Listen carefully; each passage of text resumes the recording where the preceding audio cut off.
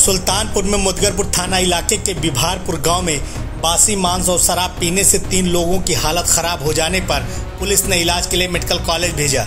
जहरीली शराब की आशंका होने पर आबकारी और स्वास्थ्य विभाग टीम ने जाँच शुरू कर दी। अमेठी में जगदीशपुर थाना के पूरे दलेल इलाके में महिला को अज्ञात व्यक्तियों ने लाठी डंडे से मारकर घायल कर दिया। सूचना पर पहुँची पुलिस ने महिला को इलाज के लिए कमरौली थाना के सूर्य अस्पताल में भर्ती कराया। जहाँ पर इलाज के नाम पर धम उगाही करने के बाद मरीज़ को रेफर कर दिया। अमेठी में मुंशीगंज थाना पुलिस ने मुखबिर की सूचना पर मोहम्मद सलमान को गरथोलिया मोड़ से गिरफ़्तार कर लिया। तलाशी के दौरान अभियुक्त के कब्जे से एक तमंचा, देसी और तीन ज़िंदा कारतूस बरामद हुए।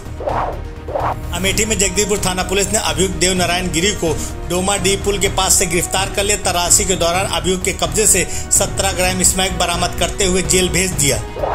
अमेठी में युवक अपनी ज़मीन को बंधक मुक्त कराने के लिए पिछले छह महीने से चक्कर लगा रहा है। नाराज़ युवक ने तहसीलदार की कार्यशैली से परेशान होकर तहसील परिसर और तहसीलदार कार्यालय के दरवाजे पर चस्पा किया लापता तहसीलदार का पोस्टर। जौनपुर में सिंगरामऊ थाना पुलिस ने बलात्कार और पॉक्सो एक्ट में वांछित अभियुक्त पंकज गौतम को उसके घर से गिरफ़्तार करते हुए जेल रवाना किया। जौनपुर में सराय ख्वाजा थाना पुलिस ने हत्या के आरोप में पाँच अभियुक्तों को गिरफ़्तार कर लिया। तलाशी के दौरान अभियुक्तों के कब्जे से एक पिस्टल कारतूस बरामद करते हुए जेल रवाना किया।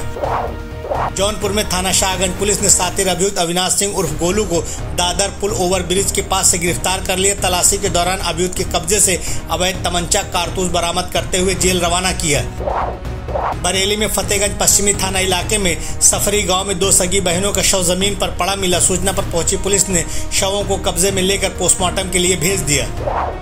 बरेली में फतेहगंज पूर्वी नगर में युवक फैयाज हुसैन ने किशोरी को रेलवे ट्रैक पर ढकेल दिया, जिससे युवती की मौत हो गई। सूचना पर पहुँची पुलिस ने शव को कब्जे में लेकर पोस्टमार्टम के लिए भेज दिया और हत्यारोपी युवक के खिलाफ परिजनों ने रिपोर्ट दर्ज करने की मांग की है। महाराज में थाना खैरीघाट पुलिस ने वारंटी अभियुक्त श्यामू सोनकर को गिरफ़्तार करते हुए न्यायालय के सामने पेश किया।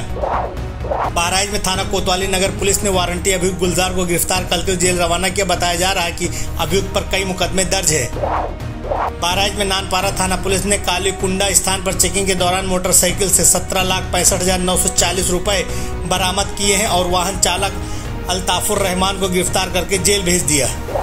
बहराइच में नवाबगंज थाना पुलिस ने वारंटी अभियुक्त नरेश और रामकुमार को गिरफ़्तार करते हुए जेल रवाना किया। बहराइच में मोतीपुर थाना पुलिस ने अभियुक्त धर्मराज को गिरफ़्तार कर लिया। तलाशी के दौरान अभियुक्त के कब्जे से 80 लीटर अवैध कच्ची शराब बरामद करते हुए जेल रवाना किया। रामपुर में तहसील मिलक से फरियाद लेकर पहुँची अर्चना देवी ने डीएम कार्यालय में सुनवाई न होने पर पीड़ित ने मुख्यमंत्री पोर्टल पर शिकायत की और मीडिया को बताया कि मुझे न्याय नहीं मिला तो मैं अपनी बेटी के साथ आत्महत्या कर लूँगी। सब्सक्राइब करें आपका अपना चैनल न्यूज़ टाइम नेशन और हर खबर सबसे पहले पाने के लिए बेल आइकॉन ज़रूर दबाएँ। और हाँ खबरें पसंद आ जाएँ तो लाइक और शेयर करना ना भूलें।